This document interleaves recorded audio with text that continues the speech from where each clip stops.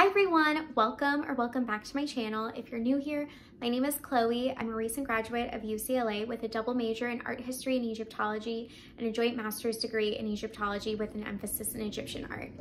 And today I am doing a get to know me Q&A. So I went onto my Instagram stories and asked you all what you wanted to know about me and you had a lot of great questions. So without further ado, let's get into the video.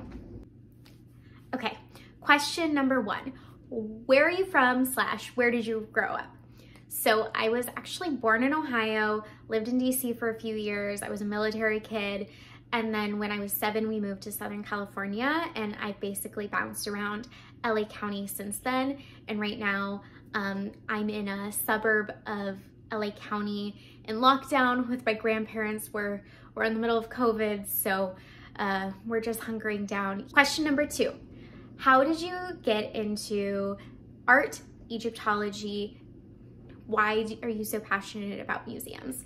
So I would say this definitely had to do a lot with my mom. She was a big lover of the arts and made sure when I was little that we went to every single museum. When we lived in DC, we would go into the city all the time to see the National Gallery, um, the Portrait Gallery, um, and it was always a big part of my life. And she always had art books around that when I was little, I would flick through and I would look at them like picture books and it was just something that I was always interested in. And Egypt very much played a role in that. Um, I used to watch every single documentary on Egypt on the History Channel back when History Channel actually had history. Um, and it was just something that I couldn't stop thinking about. And then in third grade, the King Tut exhibit came to the LA County Museum of Art, which was our local art museum, and I fell in love. Um, I thought it was the coolest thing I had ever seen. And I said, I wanna be an, I wanna be an Egyptologist or an archeologist. And then I realized I hate the heat, I hate bugs, I hate dirt. So not a great job for, you know, archaeology was not gonna be my thing. So I said, okay, mom, what can I, what job can I have and still see these things? And so she broke down the different jobs they have at a museum and I decided I wanted to be a museum curator in third grade. So another question I got, which I love is what was the first work of art that I fell in love with?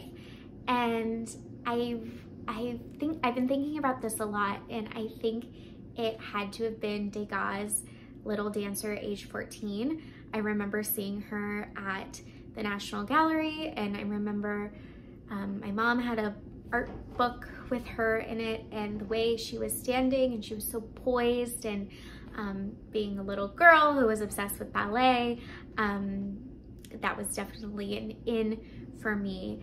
Um, but now in retrospect, uh, was a very wealthy man who would pay to have access to these young girls.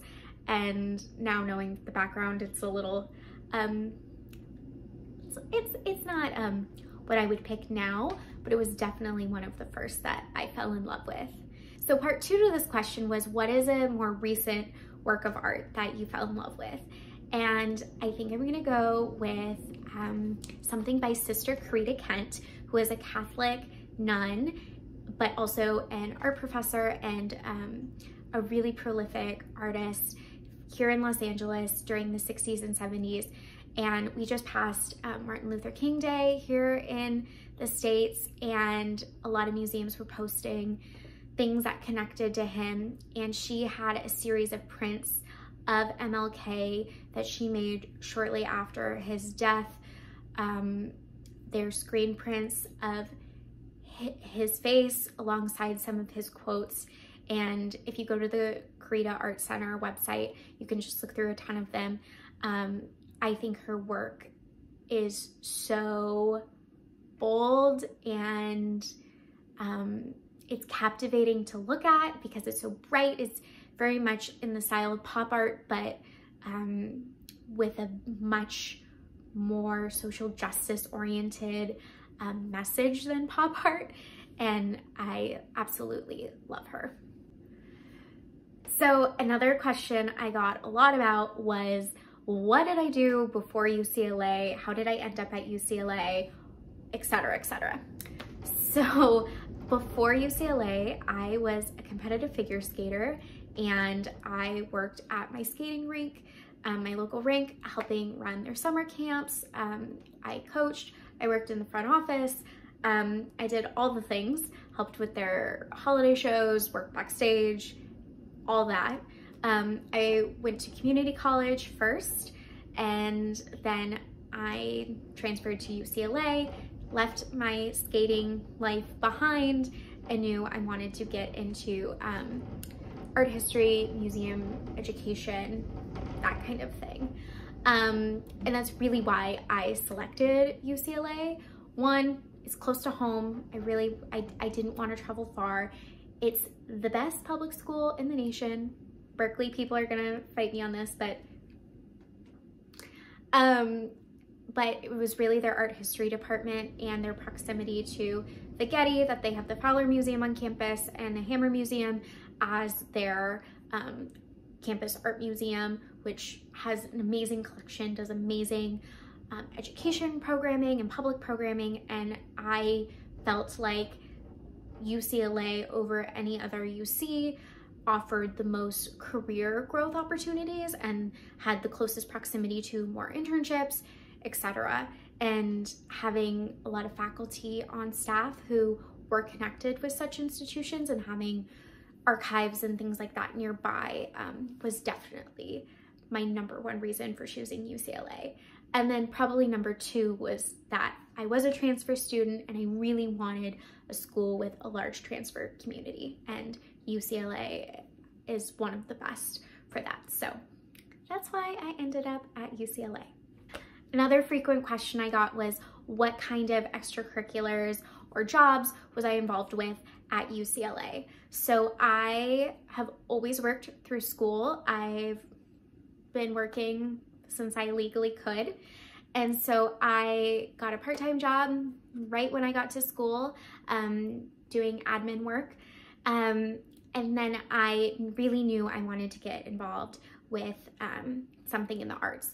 So I ended up for two years at UCLA working as a student educator at the Hammer Museum, which was one of my favorite things that I did during my time at UCLA. As a student educator, you are the main teaching um, staff of the museum. So you give public tours, you help with public programming, family events, things like that. Um, you the program is incredible. The academic programs team at the Hammer is just the loveliest. They really view arts education as a form of social justice. Um, I felt like I grew so much during my time there, not only as an educator, um, but in what my passions were, which really is why I thought about starting this YouTube channel is I had the privilege to have access to so much information there that I would like to help share for others. Um, so I worked there, I worked at the Hammer. Um, I also did some volunteer stuff. I volunteered at a gallery for a little bit. Um, I was on the student advisory board at the Getty Center for their 2018 college night. Um, so I was constantly busy. Um, but beyond that as an extracurricular, I was really involved with research. So I was really involved with um, doing independent research with my advisor, helping her with um, a research project, getting to uh, develop my own project that turned into my honors thesis that then turned into my master's thesis. Um, I got to present it at a conference, um, presented at UCLA Undergraduate Week. So I really dove into the research side of things as well. Um, and I didn't have a social life that much, to be honest. So another question I got was, what was my area of study? What was my master's thesis on? And how did I narrow down my area of focus? So I ended up in an emphasis in Egyptian art and architecture. Um, but I originally came in not knowing, not having a clue. Um, I knew I wanted to study art history. I was leaning towards 19th century French art when I first came into UCLA, but really no clue. Coming from community college, all of my classes were really broad seminar or broad survey courses to make sure that they were transferable. So everything was really open. And then coming to UCLA, I had classes like Caribbean art and, you know, just a seminar on surrealism and things like that. So I felt like a fish out of water. I was like, oh, maybe I want to study this or maybe I want to study this. And I had ideas of like royal pet portraiture as a project, which honestly, I may just like write a quick like blog post on because Queen Victoria had some really cute um, portraits of her dog Dash. Um, but I, I was all over the place. And so I sat down, I had a real heart to heart with myself and I said, what is it that I've always been excited about? And that came to Egyptian art. And UCLA happens to have a Egyptology major. It's technically ancient Near East and Egyptology. And I had a serendipitous meeting with the student affairs officer for the major. And um, I said, hey, I wanna take some classes in the department and I, but I'm, I'm a transfer, I'm here for a short period of time. And she said, okay, you know what? Come to my office, let, let's look at the course plan. I think it's totally doable for you to double major. And really, I found it was important to double major because you cannot separate the art from the culture. You have to learn it all in context. So that was really important for me. And I had a meeting with the professor who would become my advisor. And she said, hey, if you're really interested in this and you're really gung ho for it, um, we have this departmental scholars program where while you are taking your bachelor's courses, you can take master's courses or graduate study courses and graduate with both your bachelor's and your master's at the same time. And so really, I just, I, it felt right and I dove in with um, both feet. And that's, that's kind of how it happened. Um, my specific research project for my thesis was um, on this monumental gate at Medinet Habu, which is Ramses III's mortuary temple. Um, I was looking at the reliefs of, on the interior of this gate and looking at their symbolism and looking at the socio-political, economic, religious implications of these images of these royal women and the king. Um, broad area. It started out really, really broad. It started with a term paper that I had all these questions about, and then I just kept going to office hours and saying, what about this? And what about this? And what about this? And my advisor guided me into this area that became my thesis. So, so I also got a lot of questions about post-grad life, which maybe this is a whole separate video. Um, a lot of people wondered what I'm doing. I'm living with my grandparents, helping them out during the pandemic. Um, I am doing some part-time freelance research stuff on the side, um, looking for full-time work. It's, it's a struggle, honestly, in academia and humanities and the arts. Um, the sector's rough, um, but I'm looking for like coordinator positions, admin positions. Um, and somebody else asked if I decided to do a PhD. And this is honestly probably a whole other video, but I decided no. For the careers that I would like to have, a PhD is not necessary and it would not help me get there. Um, I love research, I, I do, um, but the pandemic has really helped me realize that I want to focus on more public facing um, roles and getting a PhD just wouldn't get me there which that was a great segue to the next question, which was what is a dream job? So right now, I think my dream job would be working at a museum where I align with their mission statement, working in an education department, eventually running an education department, or working in interpretive content where I could merge my passions for research and access in developing accessible wall text. Um, so if you haven't figured it out, um, museum education is really where my heart lies. And um, I realize as a white woman in this field, um, I have a lot of areas to grow, um, but there's so much work to do in that area that I just, it's something I'm really passionate about. So someone asked, what is a quote I live my life by? So I have anxiety and I'm a perfectionist and that can hold me back from putting myself out there. So a quote I live my life by is Eleanor Roosevelt's, you must do the thing that scares you most. Um, it's really something I hold on to in those moments of self-doubt, that pesky um, imposter syndrome, that it doesn't hurt to try. And the more I'm scared of something, the more I should do it. Um, it's not an easy thing. Uh, it's something I have to practice multiple times a day, um, but it's definitely a quote I live my life by since I am someone who feels like I can at times be paralyzed by the what ifs and the the uh, that imposter syndrome. But the last question I have is what are some personal goals you have for 2021?